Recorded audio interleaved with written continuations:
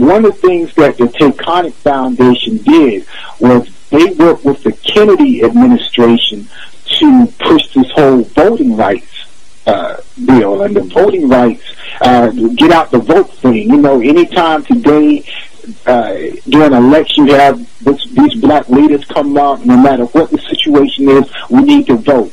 Uh, Trayvon Martin gets murdered, oh, we need to vote. Anything that happens with black people, their, their bottom line is we need to vote. We don't need or to change the law. Don't need to protest. Yeah, yeah. Well, you know, but they say the only way to do that is through voting. That's how Right, that's say what they say. The Yeah. only way to yeah, the only way to do that, according to them, is through voting. I mean, because with Trayvon, it was like, you know, let's uh, support the Democrats so that, you know, we can get rid of stand your ground. Right, and that is a trick that goes back to the Kennedy, Kennedy administration. Uh, what Kennedy did, uh, John F. Kennedy did in the early 60s was that he got with the Taconic Foundation, Stephen Currier, and they developed a plan that they will actually fund uh, the voting pro- pro- uh, projects during that period. Uh, so the Taconic Foundation, even before uh, they got the civil rights groups together, they had donated a million dollars to the voting uh, efforts. And the reason for these voting efforts was, one, uh, to get black people involved with the Democratic Party and beholden to the Democratic Party, and two, to keep people out of the streets. So these were the two reasons uh, that the Taconic Foundation and the Kennedy administration got together and really started pushing this whole voting rights thing. So even today, you have black leaders that will try to sell to the people that the only thing that can make a change in your community is not taking personal responsibility, is not going out and protesting. The only thing that you should do is, according to them, really once every four years uh, or every two years is what they really concentrate on, is go out to vote. And that goes back once again to the early 60s when the Taconic Foundation and the Kennedy administration got their heads together and threw all that money behind getting black folks to vote. Steve Cokely, once again, uh, the great researcher, uh, gave us a formula. He said, intention plus capability equals threat. Intention plus capability equals threat. Uh, that is the formula he said that those want to keep black people down use. Uh, because you can have all, you can have the intentions, but unless you have the capability to uh, put forth your intentions or put your intentions into action, you're not a threat.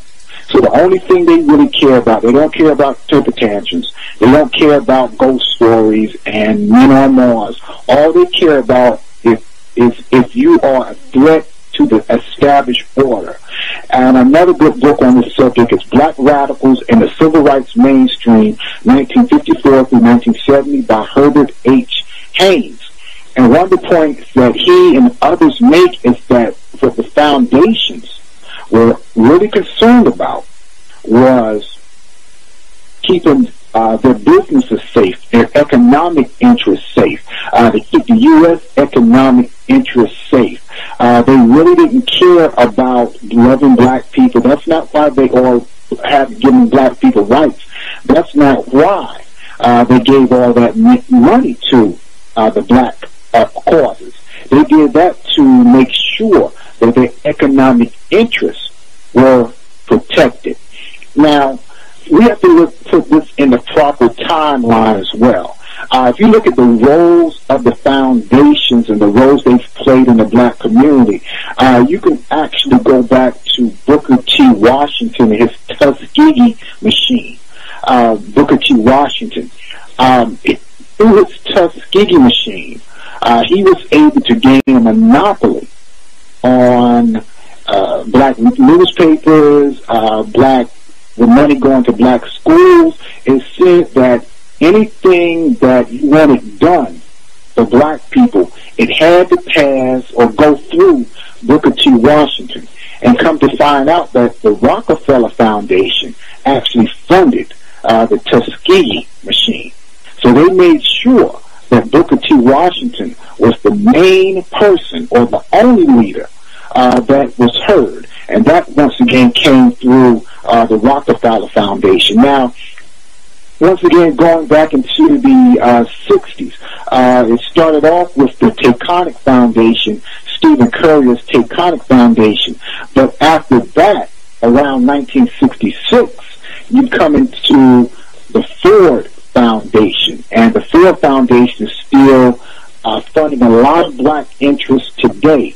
Um, the leader of, the head of the Ford Foundation was McGeorge Bundy. McGeorge Bundy. And what's strange about McGeorge Bundy is before he came to the Ford Foundation, he was uh, the head of the National Security Agency, the NSA. So he brought those expertise into the Ford Foundation. And one of the best books to read is a book called Black Awakening in Capitalist America by Robert L. Allen. Black Awakening in Capitalist America by Robert L. Allen. He does a major breakdown of uh, McGeorge Bundy and his role in the Ford Foundation, how they try to create uh, economic stability. And one of the things he points out is that during one of one of um, George uh, Bundy's speeches, he sold it to white business interests because he said basically, if you know these black folks start burning down your cities where your headquarters are, you all suffer. So, you know, you might want to get behind us and throw some money to make sure these militants uh, go do things like go to school and, and vote instead of out there in the street. Uh, because one of the things you will talk about, and you'll see with the Ford Foundation, one of the things that they said was, and they put forth when they started black studies programs in at colleges, in colleges, they felt that, you know, we would rather have you in a classroom than in, in the street burning stuff up. Right, and they're going to have a, a, say in the curriculum as well. You know, so I mean, even we we don't want to sound like we down on education, but at the same time, we want to acknowledge reality in public school system, including universities, have have shown that they are good for indoctrination.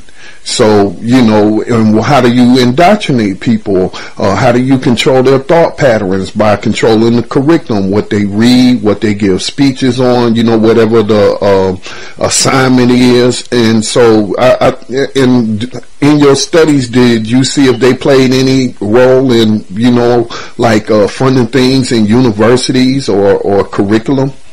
well, you just mentioned yeah. Black Studies uh, programs. Exactly. The best book on that that I found is White Money, Black Power by Dr. No- Noliwe Brooks. N-O-L-I-W-E Brooks. Her book, White Money, Black Power, talks about how the Ford Foundation started funding these black studies programs, uh, but as they gave more money, they made sure uh, that there was not a separatist agenda put forth on these college campuses. So the more money they put into developing these college, these black studies programs, the more control that they had over them. So you're, you're correct. That book is White Money, Black Power.